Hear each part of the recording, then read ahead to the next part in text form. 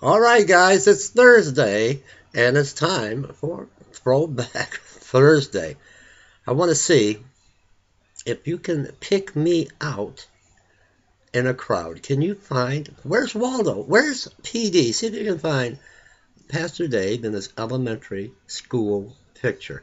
Let's go there right now.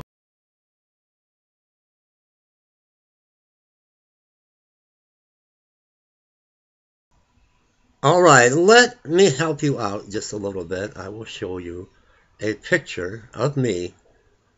I don't know what grade or what age I was. It's elementary school. Maybe this will help you find Pastor Dave.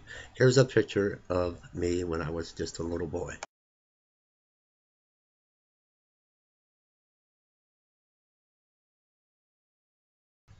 Oh, throwback Thursday.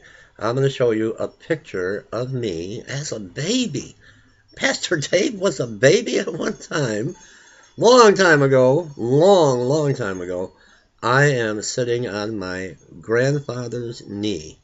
All right, my brother is on the grass, and my sister is next to my brother looking at uh, our grandpa. Here is Pastor Dave's baby picture.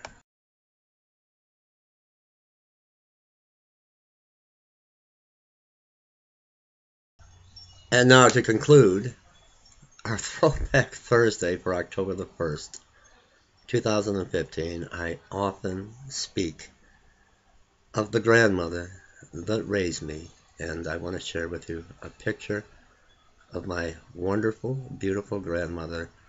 And this is when she was working at Riverside Osteopathic Hospital. Let me show you a picture of my grandmother. God bless you all.